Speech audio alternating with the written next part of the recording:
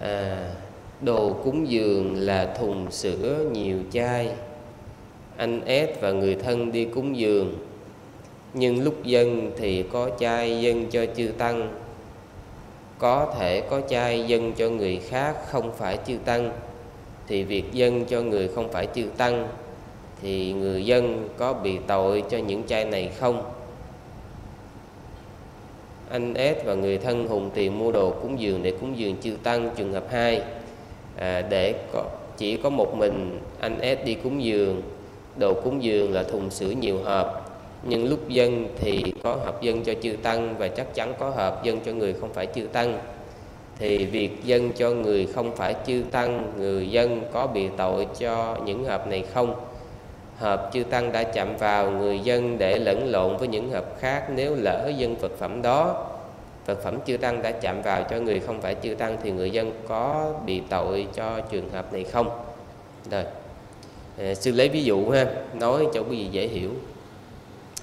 À, à sư dẫn à, đoàn quý vị đi xuống dưới để à, dùng trưa. Thì bây giờ á à, có một người Ờ, lên trên đây dân sư cái một cái thùng ờ, sữa sư thọ sau đó sư đưa xuống. Thì vì đó cầm cái thùng sữa đó bắt đầu là phân cho sư rồi phân cho quý thiền sinh. À thì như vậy vị này lo là như vậy là có tội gì hay không? Đó vậy là quý vị hiểu ha. À, xin thưa là trong trường hợp như vậy đó nó có hai phương án. À, một là khi mà cái người dân vậy nè quý vị nhớ mai mốt dân á, thì mình à, để ý luôn. À tức là quý vị dân nguyên một thùng vậy đó chưa tăng thọ rồi thì để nguyên đó. Rồi các sư sẽ phân phối. Ví dụ như các sư phân phối trong các sư rồi thì các sư xả xuống dưới. À, xả xuống dưới đây là sao?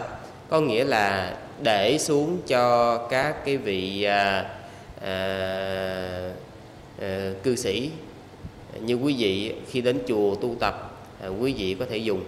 À. như vậy thì à, cái phước nó đầy đủ. Cái thứ hai á, là khi mà quý vị cầm lại á, thì à, coi như là mấy sư à, à, xả luôn thời điểm đó thì khi mà quý vị cầm rồi quý vị dân từng hộp á thì hộp nào quý vị dân cho sư thì sư nhận. À, thì đó là cái phước quý vị cúng dường cho sư. Còn hộp nào quý vị dân cho cư sĩ thì à, cư sĩ nhận là quý vị có cái phước cúng dường cho cư sĩ. À, thế thôi. À, không phải lăng tăng mấy cái đó ha.